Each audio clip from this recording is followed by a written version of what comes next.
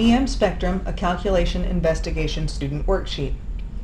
The first thing that this worksheet asks you to do is to fill in these two magic triangles with these two formulas. Don't forget that the magic triangles, pardon me, show one thing over another if you're dividing them, or one thing next to the other if you multiply them. In this first formula, because wavelength and frequency are multiplied, that means they need to go next to each other, which means that leaves c, our constant, which is the speed of light, to go up here in the top box.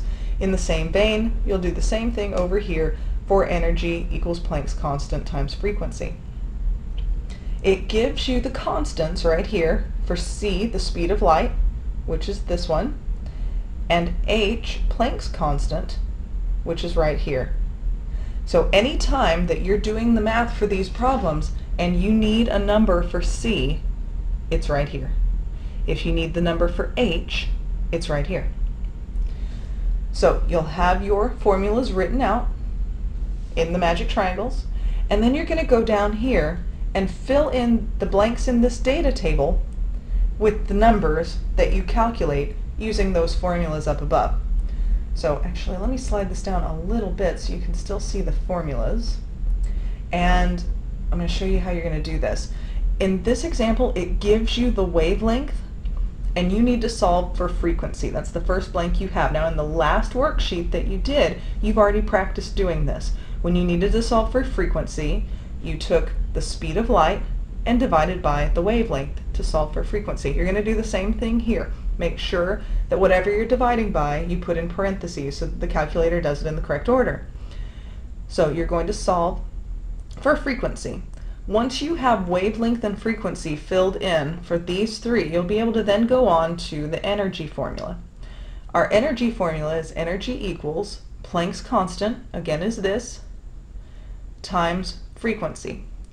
So when you have all of your frequencies here, all you have to do is multiply them by h, Planck's constant. That will give you the amount of energy in that wave. Here you're going to have to work backward. You have energy and you need to solve for frequency.